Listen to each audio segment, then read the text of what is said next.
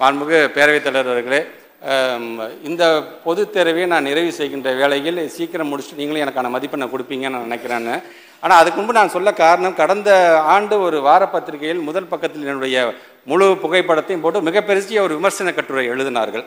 நான் கூட என்னடா முதலமைச்சர் இதை பார்த்துட்டு என்னை கூப்பிட்டு கூட ஒரு வார்த்தை கேட்கவே இல்லையே இது உண்மைதானா என்ன நடக்குது உன் துறை சார்பாக அப்படிங்கிறது ஒரு ஏக்கம் என் மனதில் இருந்தது. ஆனால் அதை பற்றி கலைப்படாமல் நான் பாட்டு என் வேலையை நான் பார்த்துக்கிட்டே தான் நான் இருந்துக்கிட்டு இருந்தேன்.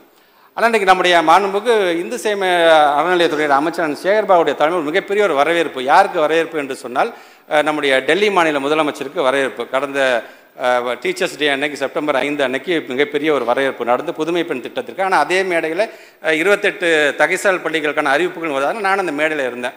அப்போ தான் முதலமைச்சராக அந்த விமர்சனம்லாம் வந்ததுக்கு பிறகு நான் பார்க்கிறேன். மேடையில் இருக்கிறாரு அவரும் பேசலை நானும் பேசலை உட்காந்தே இருக்கோம். முத டெல்லி முதலமைச்சர் பேசிய பிறகு நம்முடைய தமிழ்நாட்டு முதலமைச்சர் பேசினார் அந்த திட்டம் புதுமை பெண்ணுக்கான திட்டம் கல்லூரி மாணவர்களுக்கான திட்டம். அதில் பேசும்போது முதலமைச்சர் அவர்கள் வந்து பள்ளி கல்வித்துறை சார்பாக அடுக்கடுக்கான சாதனை எல்லாத்தையும் சொல்லிட்டு கடைசியாக ஒன்றே ஒன்று சொன்னார்.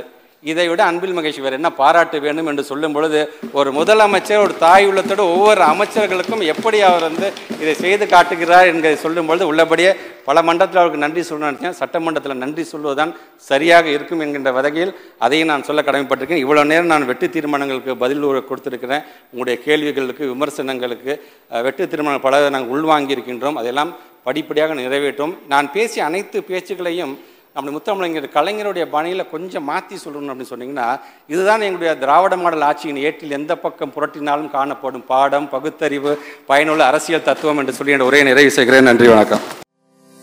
அண்மை செய்திகளை உடனுக்குடன் தெரிந்து கொள்ள இணைந்திருங்கள் இயம்நாடு தொலைக்காட்சியுடன்.